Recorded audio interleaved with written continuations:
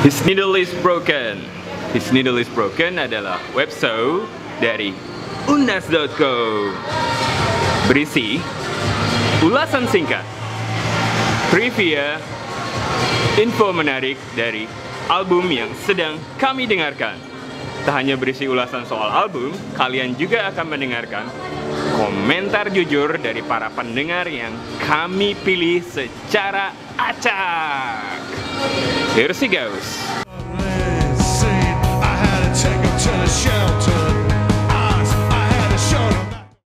Oke, album pertama yang akan kita bahas adalah The Agent Intellect. Album ini dirilis oleh Proto Martyr. Quartet post-punk asal Detroit ini baru saja merilis The Agent Intellect pada tanggal 9 Oktober 2015 yang lalu. Yap, ini adalah album ketiga mereka. Bayangkan mereka sudah merilis tiga album dalam 4 tahun. The Agent Intellect termasuk album brilian yang pernah mereka ciptakan sejauh ini. Berisikan semua hal yang berbau tentang melodik, rock and roll, dan semua hal yang berbau post-punk. Oke, here we come. What they heard about Proto Martyr. Nama saya Yan, eh, pekerjaan server di The Orange Coffee. Lagunya bagus, metalnya kena, terus eh, enak aja didengerin. Kalau misalkan lagi-lagi bete, pingin semangat, dengerin aja lagunya. Uh, Quad Stripe, enak banget kok. Soundtrack film sih yang lebih cocok sih yang rock and roll ya enaknya tuh yang punk asik lah Eh, pokoknya yang funky lah Oke, yang kedua Charters. Charters baru saja merilis Every Open Eye. Album yang dirilis 25 September 2015 lalu ini adalah terah termurni dari siapa pewaris Depeche Mode sebenarnya. Every Open Eye berisi soal melankolia, 80-an synth pop yang terdengar catchy di telinga walaupun isinya berisikan tentang curhatan Lauren Mulberry dan soal move on. So, let's dance it. What is hard and what is fair? And we will deliver. Nama saya Pian, saya barista di Doren. Saya lagi dengerin lagu Make Them Gold. Artisnya Churches. Albumnya Ev- Every Open Eyes. Musiknya asik, remixnya kena. Eh, pokoknya enak didengar deh. Jika para artis menggunakan alter ego untuk menyembunyikan kehidupan personalnya dari kehidupan panggungnya, lain soalnya dengan perempuan satu ini. Claire Alice Butcher atau yang dikenal dengan nama panggung Grimes baru saja merilis Art of Angels, sebuah album yang dipenuhi dengan kemeriahan, ya sesuatu yang lebih besar dari hal-hal sebelumnya dan jika kau bisa mendengarkan lebih dalam, dia akan terdengar seperti Bjork yang nakal. Here he goes.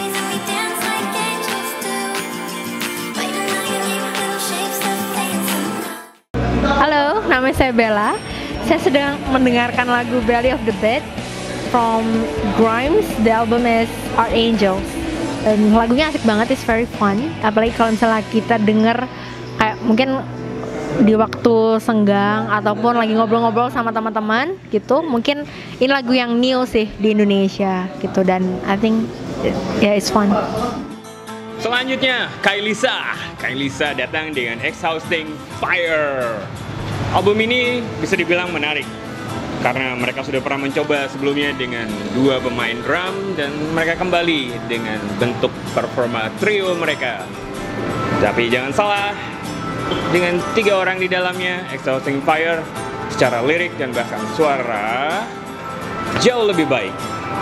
Secara umum, mereka adalah stoner metal, post hardcore atau apa pun itu yang secara konsisten selalu berkarya dan selalu menghasilkan sesuatu yang baik. Here we come, Kailisa, Exhausting Fire.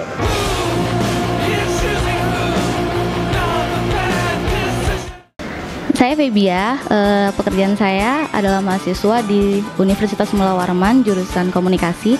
Sekarang saya mau ngedengerin lagunya dari Kailisa, album Exhausting Fire yang Lost and Confused, India. Oke lagunya Kelisa dari albumnya Exha- Exhausting Fire ini yang Lost and Confused itu sebenarnya baru pertama didengerin. Aliran musik yang kayak gini cukup bikin sakit telinga tapi enak sih enak. Terus gimana ya ini mungkin eh, buat orang-orang tertentu aja ya nggak bisa buat semua kalangan. Jadi emang yang suka metal mungkin bisa didengerin. Rekomen lagunya bagus karena dia banyak di dalam sini tuh dia kayak banyak lah banyak musik gitu nggak cuman metal tapi ada beberapa musik yang saya nggak tahu tuh eh, alirannya apa tapi yang jelas enak-enak aja. Kejutan selanjutnya datang dari Beirut. Ya, Beirut. Pop yang bernuansa Baltic satu ini, atau jika kalian mengenal nama Jack Condon, hadir dengan album terbaru mereka setelah 4 tahun vakum. No, no, no, dirilis tertanggal 11 September 2015 lalu. Ya, untuk siapa pun yang kangen akan Beirut, sepertinya kalian akan kecewa di album ini. Secara general, album ini tidak tidak lebih baik dari dua album sebelumnya, tapi untuk siapa pun yang kangen Jack Condon, silahkan dengar Beirut No No No.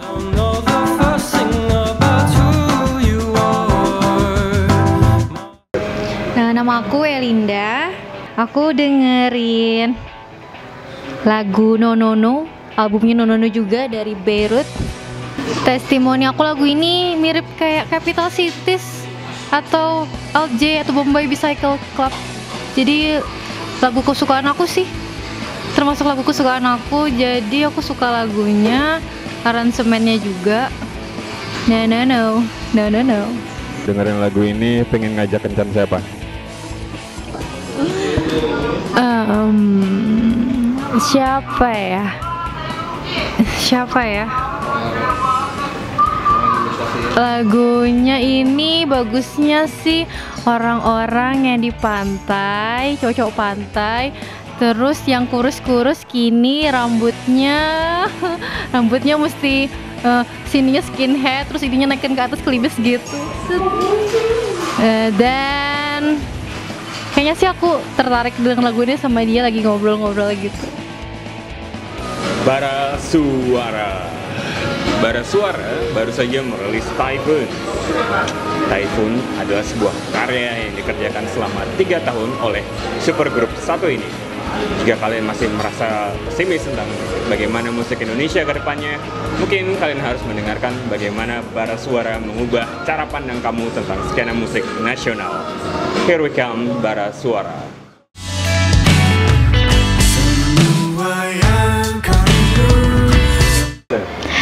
Nama saya Raisa Yusuf. Pekerjaan saya sebagai presenter dan juga produser di salah satu TV lokal Samarinda. Dan kali ini saya lagi mendengarkan lagu dari Bara Suara dari album Typhoon dengan judul Sendu Melagu. Ya tadi satu lagu dari eh, dengan eh, dari Bara Suara.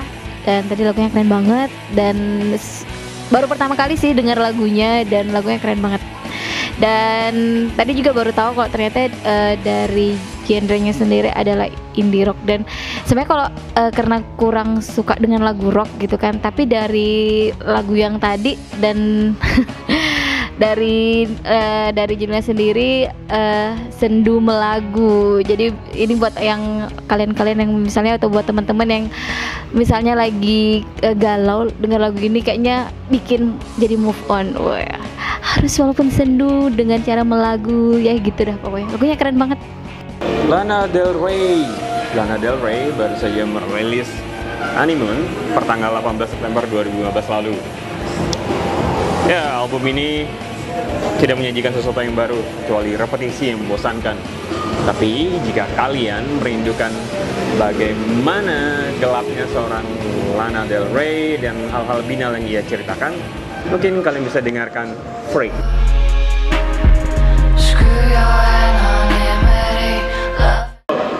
Hai, nama aku Isma. aku sekarang mahasiswa ilmu komunikasi, ilmu komunikasi Unmul.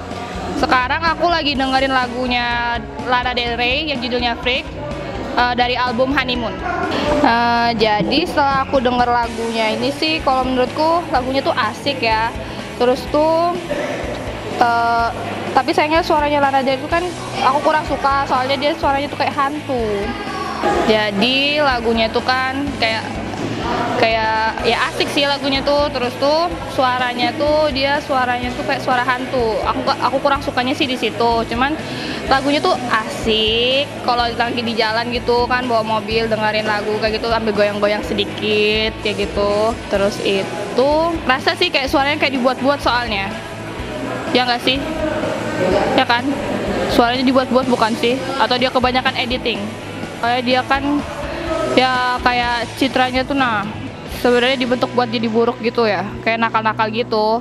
Padahal looknya tuh maksudnya mukanya tuh nggak kayak gitu nah. Nggak cocok. Jadi ya begitulah. Aku ngerasanya sih gitu